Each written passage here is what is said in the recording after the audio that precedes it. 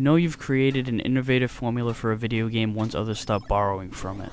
Demon Attack borrowed from Phoenix, Freeway borrowed from Frogger, and a whole shitload of games borrowed from Pac-Man. Here's another example. MAD, or MAD. MAD borrows from the Missile Command formula. And quite obviously, too.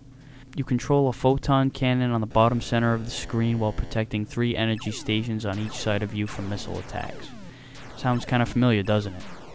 Well, there are some differences. For one thing, the missiles don't come straight out from the sky all at once. They cross horizontally and then drop down one at a time. You'll see which one the computer locks onto ahead of time when it turns white before dropping. Another difference is the cannon you're firing from. Unlike Missile Command, you'll get infinite bullets, but you can only fire two at a time. You also aren't using a crosshair cursor to aim. You're changing the angles of the cannon using the joystick. There are seven angles you can shoot at, three to each side and one straight up the center.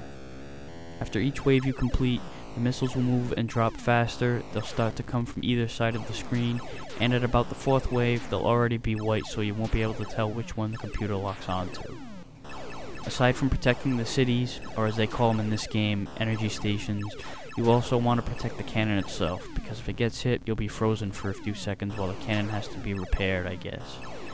A cool and original feature is the two-player mode, because it's not co-op and it's not in alternating fashion. It's head-to-head. One player fires with the cannon like normal, while the other player moves a cursor around the screen to lock onto a missile and then drop it, choosing where they want the missile to go.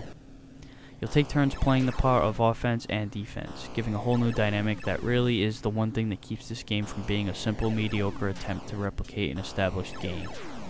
One player mode is pretty ho-hum, but playing this game head to head is what really makes it worth playing.